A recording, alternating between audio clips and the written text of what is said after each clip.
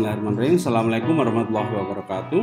Kita bertemu lagi pada kajian psikologi spiritual sesi kedua. Kita mulai masuk ke ranah uh, dinamika psikologis ya, yang nanti akan kita lihat uh, ilustrasinya bagaimana. Yang ini juga menjadi fondasi dari uh, teori-teori motivasi maupun kepribadian yang nanti akan kita bangun di atas fondasi ini.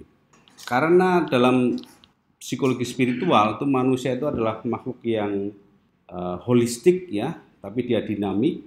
Ilmu itu juga harus terintegrasi. Ya. Artinya ilmu psikologi sendiri, ilmu tentang manusia itu kita dalam perspektif spiritual tidak kita bedakan antara apakah behaviorisme atau kognitivisme semuanya jadi satu ya sebagai manusia itu adalah satu kesatuan sehingga Eh, ilmu-ilmu yang sudah dikembangkan dari aliran-aliran yang lain itu nanti kita serap.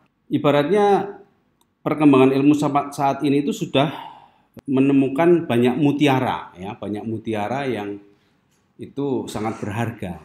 Cuman mutiaranya itu masih berserakan dan masih ber, ber, ya. Kotoran-kotoran atau eh, hal-hal yang sifatnya tidak esensial. Nah, kita dengan psikologi spiritual ini, dengan integrasi ilmu ini, mutiara itu kita ambil, kita bersihkan, kita integrasikan sehingga dia akan menjadi sebuah kalung mutiara yang indah.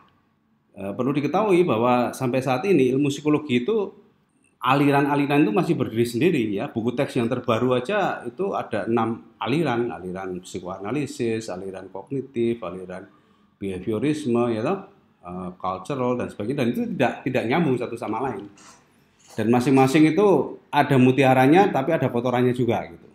Nah, kita i, i, apa melalui psikologi spiritual ini kita integrasikan menjadi suatu untayan mutiara yang indah yang bersih sehingga kita bisa lebih komprehensif melihat fenomena kehidupan manusia ini. Uh, metafor yang kedua, ketika kita melihat sebuah pohon ya yang besar, tinggi, menjulang dan sebagainya, itu eh, sebetulnya unsur-unsur yang ada di dalam pohon itu itu sudah ada sejak dia masih menjadi biji.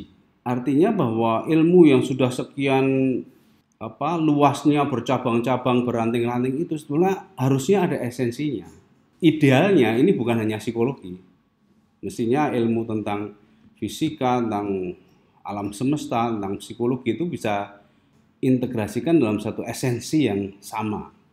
Makanya dalam bahasa Inggris itu ada istilah in a nutshell, ya. Jadi psychology in a nutshell itu artinya ya ilmu psikologi itu ada di situ semua dalam biji itu, ya. Esensinya itu harusnya ada jasa satu. Nah ini yang juga masih uh, lacking ya di dalam khasanah ilmu psikologi sekarang ini. Sehingga ketika kita mau merumuskan permasalahan biasanya kalau kita baca jurnal, semakin banyak jurnal yang kita baca, semakin bingung. Karena nutshell-nya itu nggak ketemu. Alirannya beda-beda. Bahkan di aliran yang sama pun ketika teorinya beda, sudah beda lagi. Kemarin Pak Fatul Imam mengatakan teori tentang work-life balance itu ada 50 lebih teorinya itu. Nah ini yang benar yang mana ini? Esensinya apa? Nah itu kan uh, contoh bagaimana pohon itu sudah bertumbuh sedemikian rupa tapi kita hanya sibuk melihat daun-daunnya.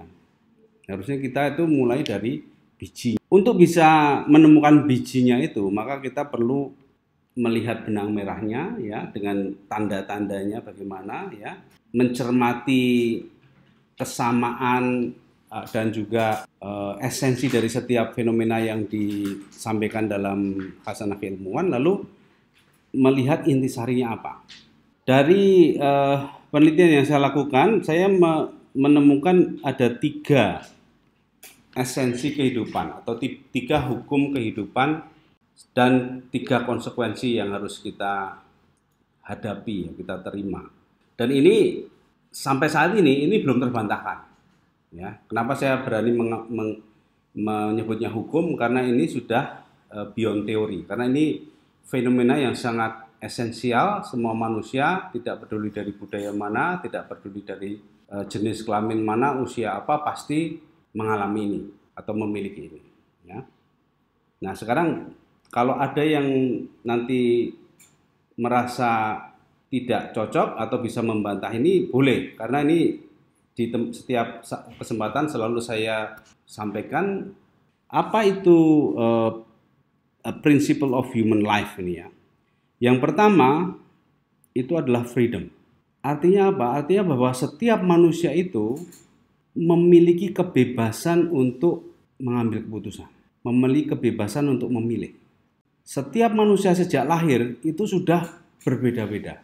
Mungkin dalam psikologi salah satu manifestasinya ini individual differences. Dalam uh, dokumen hak asasi manusia disebutkan all human beings are born free.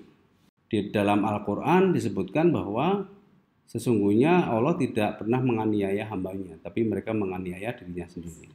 Sesungguhnya tidak ada paksaan dalam agama, karena sudah jelas mana yang benar dan mana yang salah, tinggal uh, manusia milih yang mana.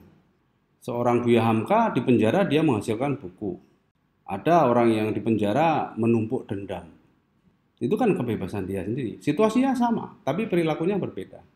Sehingga setiap manusia ini dia suka atau tidak, ngaku atau tidak, itu punya kebebasan untuk memilih. Hukum kedua, semua manusia itu menghadapi ketidakpastian tentang masa depannya dalam hidupnya. Tidak ada yang pasti dalam hidup kecuali mati, ya. Tapi itu pun kapan belum pasti. Ya kematian itu sendiri pasti terjadi, tetapi kapan terjadinya, di mana terjadinya tidak pasti.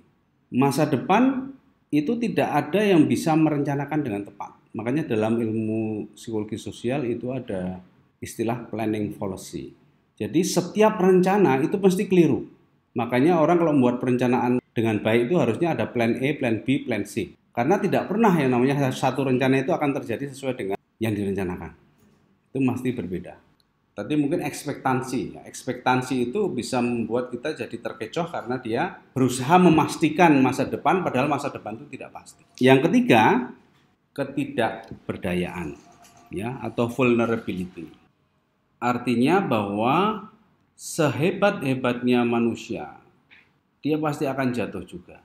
Dan ini juga sudah diteliti oleh seorang ahli psikologi yang dia mempresentasikan hasil penelitiannya itu dan dan menjadi the top 10 TED Talks ya. Jadi sangat sangat mengejutkan tapi orang tidak bisa membantahnya bahwa sungguhnya manusia itu tidak berdaya. Kalau Anda se, se, sehebat-hebatnya Anda, seberani beraninya Anda, lama-lama akan jatuh juga. Jadi karena manusia itu tidak berdaya, maka ada semacam kecemasan atau kegelisahan ya. Selalu akan ada usaha-usaha untuk mengkompensasi ketidakberdayaannya itu. Nah itu yang membuat kehidupan ini jadi dinamis. Nah dari tiga prinsip kehidupan ini ada tiga konsekuensi yang ini nanti juga akan menjadi kunci untuk menuju ke kesehatan mental dan juga e, kebahagiaan ya. Pertama kebebasan itu konsekuensinya adalah tanggung jawab kalau orang itu melakukan sesuatu bukan karena kehendaknya sendiri, dia bisa bilang kalau ini bukan mau saya. Tapi karena manusia itu bebas, maka dia tidak bisa dong menyalahkan orang lain. Jadi dia suka atau tidak, ya, dia rela maupun terpaksa, dia harus menanggung akibat dari perbuatannya sendiri. Karena perbuatannya itu adalah pilihannya dia sendiri, dia harus menanggung akibatnya, apa pun akibatnya itu. Sehingga poin pertama, hukum pertama kita untuk bisa eh, sehat secara mental, setiap kita mengambil keputusan, kita harus selalu memperhitungkan konsekuensinya. Karena konsekuensi itu adalah keniscayaan yang akan terjadi dari yang yang akan selalu selaras dengan apa yang kita putuskan. Nah, ini yang sering juga menjadi masalah psikologis adalah ketika orang selalu kaget dengan akibat dari perbuatannya. Dia tidak menduga bahwa perbuatannya itu bisa berakibat seperti itu dan dia tidak mau menerima itu, itu jadi stres dia. Atau dia menginginkan sesuatu yang itu nanti berupa konsekuensi, tapi dia tidak mau melakukan sesuatu yang nanti konsekuensinya ke situ. Uh, semua ilmu pengetahuan itu sebenarnya ingin mempelajari sebab akibat ini. Dan sebab dari peristiwa yang kita alami itu adalah pilihan kita sendiri. Itu yang disebut bahwa manusia itu sesungguhnya menganiaya diri sendiri ketika dia menderita itu. Dan ketika dia terdihadapkan dengan konsekuensi, tidak semua langsung sadar bahwa itu adalah karena perbuatannya sendiri.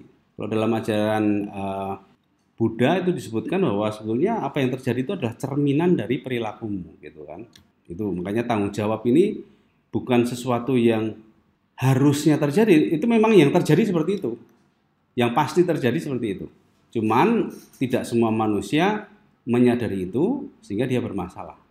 Kedua, uncertainty itu satu-satunya obat terhadap ketidakpastian itu adalah hope atau harapan. Harapan itu beda dengan ekspektasi.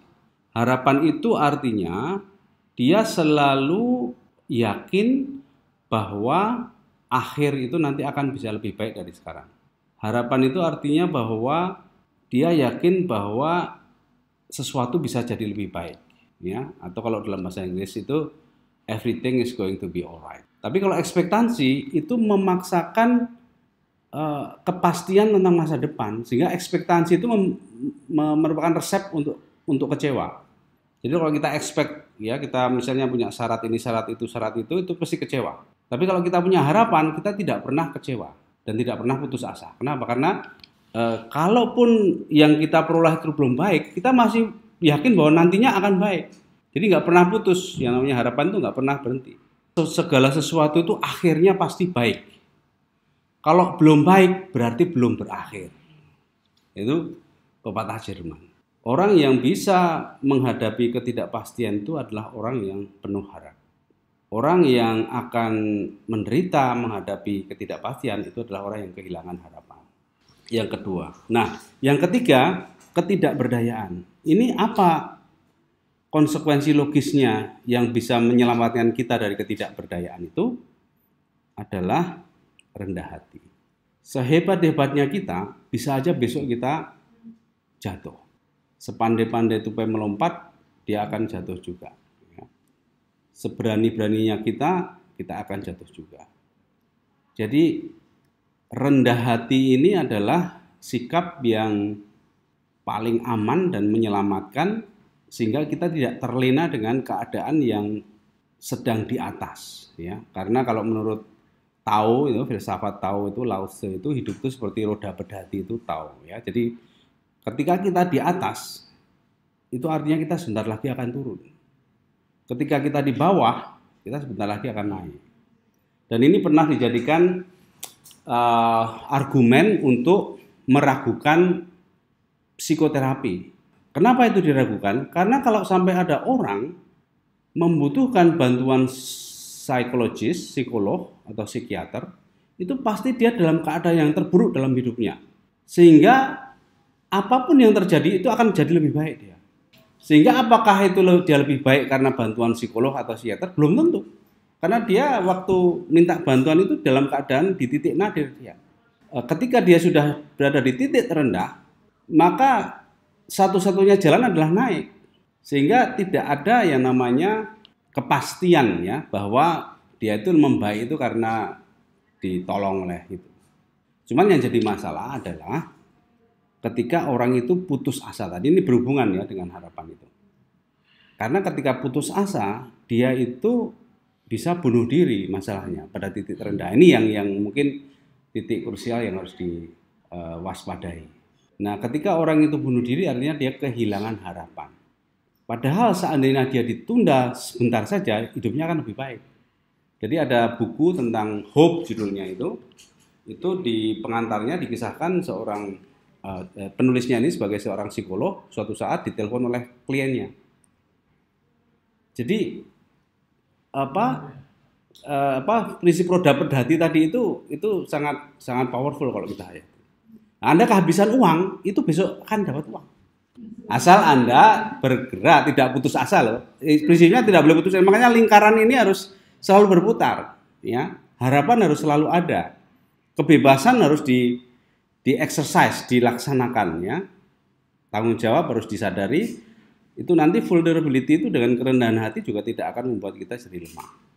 Jadi ini adalah tiga prinsip kehidupan yang menjadi biji dari segala macam kesehatan mental dan juga apa gangguan mental kalau salah kita dalam mensikapinya. Sehingga kalau kita ingin fokus pada kesehatan mental ada tiga hal ini ya yang harus kita ingat. Kita harus selalu sadar akan tanggung jawab, sadar sadar akan konsekuensi dari apa pun yang kita lakukan. Kita harus selalu punya harapan, tidak pernah kehilangan harapan dan kita harus selalu rendah hati. Karena tidak ada manusia itu yang bisa bertahan sendiri selamanya di atas. Demikian saya kira untuk sesi kedua. Assalamualaikum warahmatullahi wabarakatuh.